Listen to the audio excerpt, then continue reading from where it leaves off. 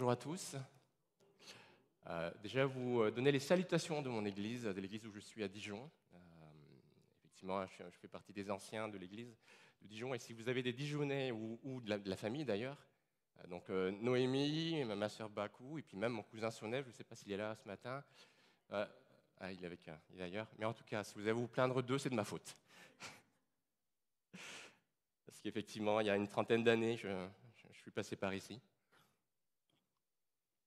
Et euh, c'est une. Euh, comme disait Gab, c'est vrai que je fais un petit excursus euh, rapide peut-être sur cet héritage-là. Pas, juste de la parole. On est à la Bible part, donc ne vous inquiétez pas, je vais, lire la parole. Mais, mais au-delà de ça, ce que ça produit, c'est des relations et qui sont des héritages à vie, en fait, pour l'éternité. Et je vois des visages.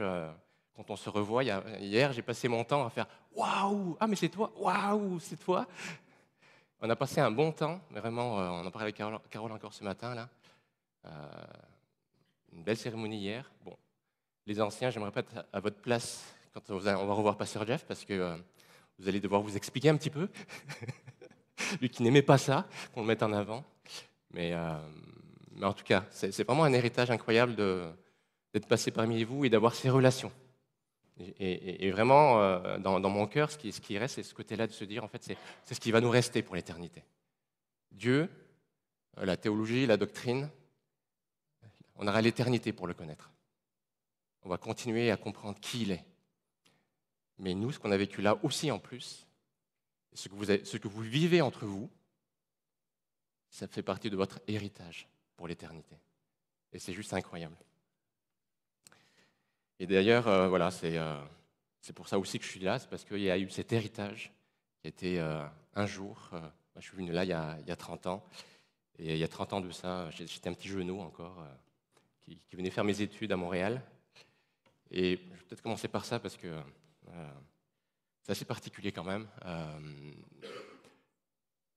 je suis venu il y a 30 ans et j'avais à cœur une chose. Je suis passé de la connaissance de la foi de mes parents en me disant euh, Ok, je crois en Dieu, il n'y a pas de question sur ça. Mais ce Dieu en qui je crois, je ne le connais pas. Et je veux le connaître. Et comment on connaît quelqu'un? On passe du temps avec, on l'écoute. On apprend à écouter ce que dit sa parole. Et euh, c'était dans un temps où je me suis dit, j'ai dit à Dieu, écoute, je ne te connais pas suffisamment bien. Donc je veux aller dans une ville, je veux aller quelque part pour faire mes études de, d'ingénierie à l'époque, mais je vais dans un lieu où je peux connaître ta parole, je peux étudier ta parole. Et je suis parti ici, je suis venu ici à Montréal. Je vous passe les détails, mais euh, le dernier jour dans l'église locale à Dijon, où je partais, j'ai fait mes au revoir comme ça, euh, devant, en disant écoutez, priez pour moi, je pars à Montréal, je ne sais pas trop ce que je vais voir là-bas, ce que je vais rencontrer là-bas, mais je pense que Dieu m'attend là-bas. Et il y avait quelqu'un qui était, là ce jour-là de passage. Il s'appelait Thierry Arriaga. Il est venu me voir à la fin du culte. Il m'a dit Écoute, euh, j'ai entendu ce que tu as dit. J'ai entendu que tu voulais connaître Dieu et connaître sa parole. Moi, je connais quelqu'un là-bas. Euh, je vais donner un numéro de téléphone. Puis tu, appelleras et puis tu, verras bien. Quoi. Je dis Ok, pas de problème. Euh, J'arrive ici et euh, une fois que je me suis installé, j'étais du côté de Côte des Neiges. Euh, il y avait un, téléphone dans ma chambre. Et le premier dimanche, je suis arrivé, je ne sais pas, je crois un samedi, je, suis allé à un culte pas loin, mais dans une église euh, à côté des Côtes des Neiges. Et puis, bon, c'est bien, hein, mais je me dis non, c'est pas là que Dieu m'attend, je ne peux pas étudier la parole ici. Et je me suis rappelé de ce petit euh, numéro de téléphone que j'avais dans la poche. Et je prends ce, numéro de téléphone et puis je prends le, le, téléphone qui est à côté et je tapote les numéros. C'était mois d'août, 23, 24, je pense. C'était euh, Bonjour, vous êtes bien, la Bible parle. Les cours redémarrent dans deux semaines. C'est la voix de Lise de Grandpré dans le, dans le répondeur. J'étais fou. J'étais vraiment fou. Waouh, Dieu m'attend là. J'ai dû refaire le, téléphone trois ou quatre fois tellement je n'étais pas sûr. J'étais là, j'étais ah, Donc Lise, je connais ta voix par cœur depuis ce temps-là. Le texte d'aujourd'hui que je voudrais euh, vous lire et à partir de, duquel je vais partir se trouve dans Ésaïe 57, verset 15.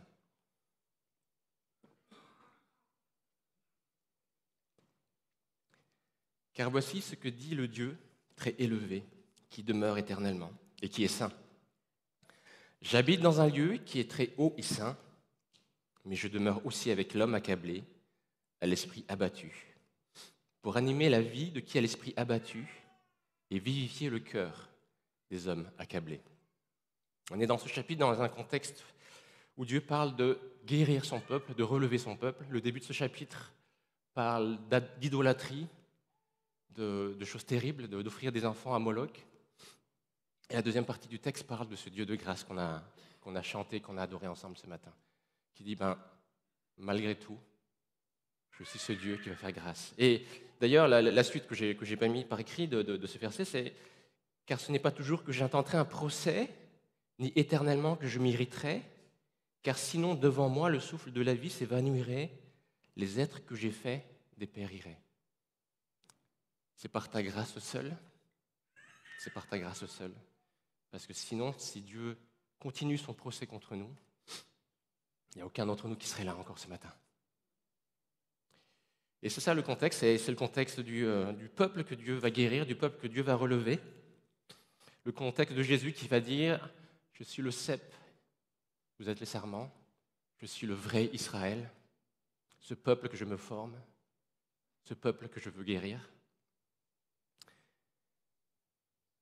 Mais je vais juste faire un petit pas de côté, au-delà du contexte de ce que le texte est en train de dire, sur euh, deux choses qui me, marquent moi personnellement et que je trouve toujours incroyables. Euh, c'est ce, côté où on a ce Dieu qui dit, je suis le Dieu très élevé. Je suis ce Dieu qui est saint. vous savez, ce, ce gap, ce, trou entre la sainteté de Dieu et puis nous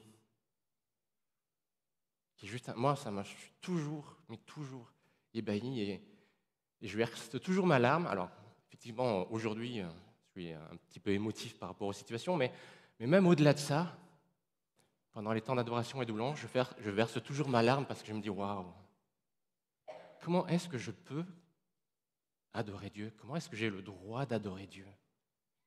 Lui qui est saint, qui habite dans un lieu très élevé, et moi qui suis une créature. Et pourtant, et pourtant. Ésaïe, quand il dit ce, texte-là, euh, le contexte dans, lequel il le dit, il a vu la gloire de Dieu. Dans Ésaïe 6, il a une vision de Dieu. Et donc, c'est le, début de, tout ce qui se passe pour lui. Dieu lui parle, mais avant de lui parler, en fait, il lui parle à partir d'une vision. Et cette vision, c'est quoi? C'est l'année de la mort du roi Osias. Je vis le Seigneur siégeant sur un trône très élevé. Les pans de son vêtement remplissaient le temple. Des êtres à forme de serpents se tenaient debout. Chacun d'eux avait six ailes. Deux ailes pour se couvrir le visage, deux autres pour se voiler le corps, et les deux dernières pour voler. S'adressant l'un à l'autre, ils proclamaient Saint, Saint, Saint est le Seigneur des armées célestes. Toute la terre est pleine de sa gloire. Isaïe commence par voir cette gloire de Dieu qui est au ciel. On a la même avec Ézéchiel. Vous dans les cours des prophètes et, Ézéchiel voit la même chose. Je vis soudain un vent de tempête venant du nord qui poussait devant lui, un énorme nuage signé d'éclairs. Ce nuage était entouré d'une clarté éblouissante. En son centre, il y avait l'éclat d'un métal au milieu du feu. En son milieu, je distinguais quelque chose qui ressemblait à quatre êtres vivants. Ces êtres vivants avaient l'aspect de braises incandescentes et de torches brillantes. Ils paraissaient embrasés comme des torches brillantes. Le feu courait entre ces êtres vivants. Ils avaient l'éclat du feu et des éclairs jaillissaient de ce feu. Ésaïe, Ézéchiel voient la demeure de Dieu dans le haut, dans le lieu saint, dans le lieu très haut. Et les images qu'ils nous transmettent pour décrire ça, c'est comme un métal en fusion. je ne sais pas vous, mais euh, je ne sais pas pourquoi on a toujours cet état de... Euh, on est devant un feu, puis ce feu qui brûle, c'est rouge, rougeoyant, bien, bien dense. On est, on est comme, moi, en tout cas, je suis comme subjugué par ce, ce, côté rougeoyant du feu et, euh, et je ne sais pas pourquoi. Si quelqu'un a une explication, me raconterait à la fin, je, suis preneur, mais en tout cas, c'est ce que voit Isaïe, c'est ce que voit Ézéchiel. Le trône de Dieu dans le ciel, et au centre de ce trône de Dieu, Dieu, comme un feu, plus rouge que n'importe quel volcan qu'on pourrait voir. Il est tellement rouge, tellement puissant, que les êtres qui sont à côté, autour, brillent de la même manière.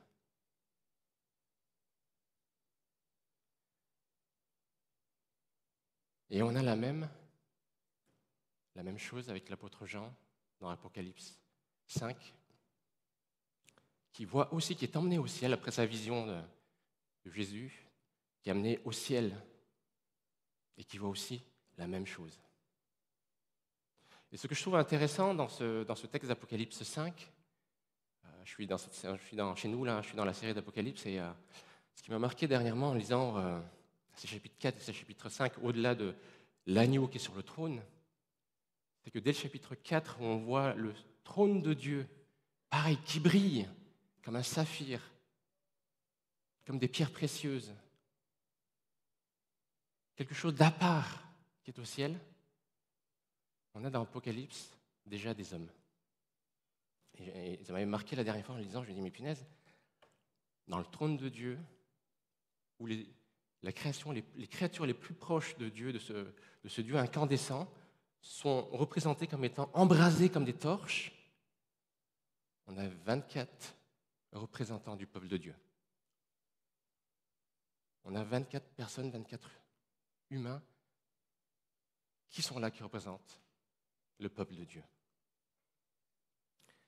Et je me dis, waouh, dans ce décalage de la sainteté de Dieu, déjà Dieu a prévu qu'on puisse se retrouver au plus proche de lui.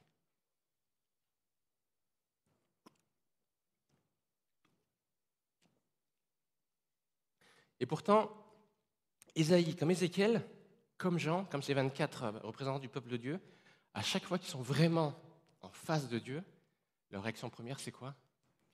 Se retrouver à genoux ou dire malheur, parce que j'ai les lèvres pécheresses. Et il se trouve à genoux. Ézéchiel dit C'est ainsi que m'apparut ce qui ressemblait à la gloire de Dieu, de l'Éternel. À cette vue, je tombais la face contre terre et j'entendis quelqu'un me parler. Se retrouver dans la présence de Dieu nous amène dans ce côté du euh, waouh, c'est juste incroyable. Je ne peux pas tenir dans la présence de Dieu. Et pourtant, c'est ce même Dieu qui dit J'habite dans un lieu très haut, j'habite dans un lieu saint, mais je demeure aussi avec l'homme accablé, à l'esprit abattu. Je demeure dans les lieux hauts, je demeure avec l'homme à l'esprit accablé. Ça veut dire quoi, hein, accablé? Dans la définition dictionnaire, c'est quelqu'un qui porte une charge trop forte, une surcharge, celui qui est abattu. Mais dans le contexte d'Ésaïe en particulier, celui qui est accablé, c'est celui qui a besoin de Dieu. Celui qui est humble, celui qui n'est pas fier, celui qui sait qu'il a besoin de Dieu, celui bah, qui vit ce que Jésus dit euh, avec justement le cep et le serment. Sans moi, vous ne pouvez rien faire. Celui qui le sait. Je pense parfois c'est, c'est, facile ce, verset-là. Euh, sans moi, vous ne pouvez rien faire. Je pense qu'on le connaît tous. Mais je pense que comme, moi, vous avez tous des capacités qui font que souvent, nos capacités font que dans un certain lieu de nos vies, on n'a pas besoin de Dieu. Et il faut que Dieu nous mette dans des lieux où on a besoin de lui, accablé, besoin de Dieu. Chapitré dans le lieu haut et saint, et avec celui qui est humble d'esprit. Pourquoi? Afin de vivifier l'esprit des humbles et afin de vivifier ceux qui ont le cœur brisé. Et Bonhoeffer qui disait euh, dans Si je n'ai pas l'amour, la joie de Dieu est passée par le dénuement de la crèche et la détresse de la croix. C'est pourquoi elle est invincible, irrésistible. Elle ne nie pas la détresse où elle se trouve, mais au sein de cette détresse, en elle, elle trouve Dieu. C'est de cette joie victorieuse dont il est question. À elle seule, on peut se fier. Elle seule aide et guérit.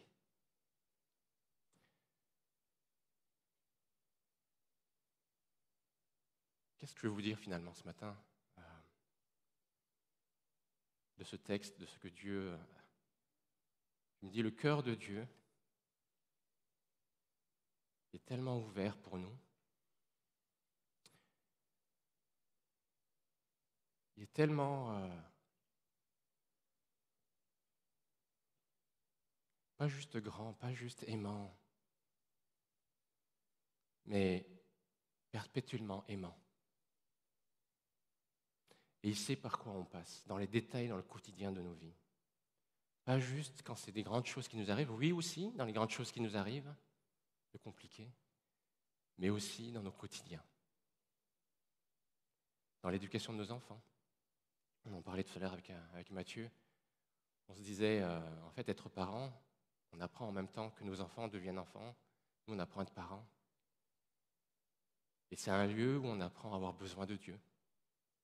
Je continue, j'aime mon plus grand a 13 ans, et je continue à être euh, dans ce lieu de dire, Seigneur, euh, apprends-moi. J'ai besoin de toi, je veux avoir besoin de toi pour pouvoir éduquer mes enfants. Je veux avoir besoin de toi pour mieux t'aimer. Je veux avoir besoin de toi pour être un ancien dans mon église. Je veux avoir besoin de toi pour être un mari aimant sa femme. Pourquoi? Parce que Dieu aime. Aime qu'on ait besoin de lui. Il veut demeurer avec celui qui a l'esprit accablé, celui qui a besoin de lui. Et, c'est partie de nos discussions euh, régulières avec, avec Gab. effectivement, c'est un ami de, 30 ans maintenant et, euh, et on a ce privilège d'avoir été saisi par Dieu. Parce que j'ai du mal à dire que je marche avec Dieu. C'est plutôt Dieu qui marche avec moi, qui m'a saisi à un moment donné et qui continue de marcher avec moi. Et qui va finir la course avec moi, avec nous. Et en discutant, on, parle de la phase dans laquelle vous êtes au niveau de l'Église. Et, je me disais, waouh, ce Dieu qui demeure, qui veut demeurer avec chacun d'entre nous, et aussi ce Dieu qui demeure dans son Église. Et il va prendre soin de son Église. Et, euh, vraiment, moi j'ai cette foi-là que... Et en, et en, même temps, on s'en fiche de ma foi. Ce qui est important, c'est que c'est ce que Dieu dit, des choses et ce qu'il va faire on a ce Dieu qui nous aime. On discutait euh, avec Noémie en, France, et je me disais en fait, c'est ce qui est important. Je parlais au tout début d'avoir des relations, d'avoir de l'expérience dans nos relations, parce que c'est un héritage qu'on va avoir pour l'éternité. Et je me disais aussi, on se disait aussi en fait que la doctrine, ce qu'on connaît de Dieu, c'est bien pour expérimenter Dieu. Je vous parlais tout à l'heure de, mon expérience d'être venu ici il y a 30 ans et d'avoir connu Dieu avec vous, avec cette église locale. Et ça fait partie de, mon expérience de vie avec Dieu. Quand je suis parti, quelques années auparavant, mon père était, est décédé dans des circonstances particulières. Et je suis arrivé en tant qu'orphelin, finalement, ici. Et j'ai appris à connaître Dieu comme étant mon père et de manière concrète, quotidiennement. Et ça fait partie de ce que je suis aujourd'hui, pouvoir dire, au milieu de l'église locale de Quartier-Ville à l'époque, j'ai appris à connaître Dieu comme étant mon Père, par l'apport des uns, par l'apport des autres. notre expérience personnelle avec Dieu a pour but les autres, sert aux autres, pour qu'à la fin, on puisse dire avec euh, les anges et toute la création, la gloire te revient Seigneur. Dans Apocalypse 5, on a au milieu des trônes les quatre êtres vivants, comme ce qui a été dit par rapport à Israël, et surtout l'agneau qui se tient debout. Il semblait avoir été égorgé. Il avait sept cornes, sept yeux, qui sont les sept esprits de Dieu envoyés par toute la terre. Et je ne vais pas m'apesantir dessus, ce que je trouve intéressant, c'est ce qui vient derrière. Lorsqu'il eut pris le livre, les quatre êtres vivants et les vingt-quatre représentants du peuple de Dieu se prosternèrent devant l'agneau. Il avait chacun une harpe et des coupes d'or remplies d'encens qui représentent les prières des membres du peuple saint. Nos prières montent encore aujourd'hui et encore et encore auprès du trône de Dieu. Et ils sont là en même temps que l'adoration. Et je trouve ça incroyable que non seulement on puisse adorer Dieu, chacun d'entre nous ensemble, mais que nos prières arrivent devant notre Dieu. Et il se plaît à recevoir nos prières. Et il se plaît à voir notre adoration. Est-ce qu'il y a une fin à un moment donné où il est tanné de nous euh, de recevoir nos prières? Il se plaît. Il demeure avec ceux qui ont le cœur accablé. Il vit avec, il n'est pas en train de dire non, non, c'est bon, euh, j'en ai marre, j'en ai assez. Il a besoin de moi? J'aime ça. Tu as besoin de moi? J'aime ça. Et le but de tout ça, c'est qu'à la fin, ensemble, on puisse faire ce qu'on voit dans Apocalypse 5, que nos expériences de vie avec Dieu, que ce qu'on vit en termes de ben, j'ai connu Dieu sur ce plan-là, en tant que Père Dieu, qui est le Père des orphelins, parce que j'étais accablé dans ce côté où j'ai perdu mon Père, ça puisse devenir quoi? Cette phrase-là. Et toutes les créatures dans le ciel, sur la terre, sous la terre et sur la mer, tous les êtres qui peuplent l'univers, je les entendis proclamer à celui qui siège sur le trône et à l'agneau, soit louange et honneur, gloire et puissance pour toute éternité. Et les quatre êtres vivants répondaient Amen. Et les représentants du peuple de Dieu se prosternèrent et adorèrent. C'est ce à quoi Dieu nous appelle. Avec ces mots, à toi la louange, à toi l'honneur, à toi la gloire, ce sont des mots, mais que nos expériences de vie remplissent. Ce qu'on a connu de Dieu, c'est ça qui met la profondeur, la consistance à cette louange et à cette adoration qui est dire à toi l'honneur, à toi la gloire. Ce qu'on connaît de Dieu personnellement, ce qu'on connaît de Dieu ensemble, ce que l'on vit de Dieu ensemble. On avait un ami qui était euh, pareil au Timos. Euh, quand il était au sein de l'Assemblée pendant le temps de louange, vous savez ce qu'il faisait? Il se mettait au milieu, puis pendant qu'il chantait, il se tournait. Au début, ça faisait bizarre. On est en train de louer Dieu, on est en train de chanter et, regarder partout. Et on lui posait la question, mais qu'est-ce que tu fais? Il dit, écoute, euh, je suis en train de regarder le peuple de Dieu, ce pour qui Christ est mort. Et ça me permet de dire, waouh, lui aussi Dieu l'a sauvé. Waouh, lui aussi, il a une histoire avec Dieu. Waouh, lui aussi, il a connu Dieu sur tel endroit, sur tel élément. Et ça me permet de louer Dieu avec une consistance. Parce que Dieu n'a pas juste agi dans ma vie, il agit dans la vie de cette personne, cette personne, cette personne, cette personne. Et ça nous fait cette louange pas juste personnel, une louange commune. Et un jour, on fera ça devant Dieu et on, se disait, en, effectivement, en, revoyant tout le monde hier, malgré les circonstances, on se disait, en tout cas je disais, c'est comme si on faisait une répétition du jour où on se retrouvera tous devant Dieu. Et on sera waouh, salut Ça fait longtemps qu'on ne s'est pas vu. Mais waouh, qu'est-ce que c'est génial de pouvoir être ensemble là devant Dieu. Qu'est-ce que tu as à dire de nouveau depuis la dernière fois qu'on s'est vu sur Dieu? Qu'est-ce qui a changé? Raconte-moi. Et laisse-moi dire, waouh, à Dieu sur la gloire, à Dieu sur la louange, avec toi. Et je crois que cette dimension communautaire sur laquelle on finira ensemble, je suis juste excité de me dire, waouh, ça va arriver pour de vrai. Et ensemble, il y a des gens qu'on ne se connaît pas, mais pareil, ensemble, quand on va voir Dieu ensemble, et on pourra dire, waouh, Seigneur, tu es juste incroyable.